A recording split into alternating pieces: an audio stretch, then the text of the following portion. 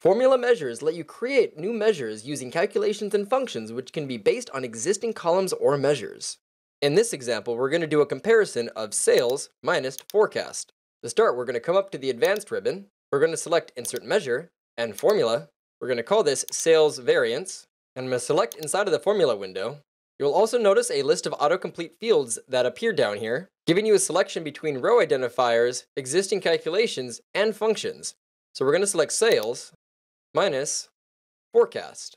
You also have the option to type notes in here as needed if you are using more complex formulas. Let's go ahead and select create and close this window. And if you ever need to edit the measure, you can come back up to insert measures, go to manage insert measures, and here you have the option to both edit existing measures or inserting a new measure if you need. Alternatively, if you close this, you have an alternative location to add a formula measure.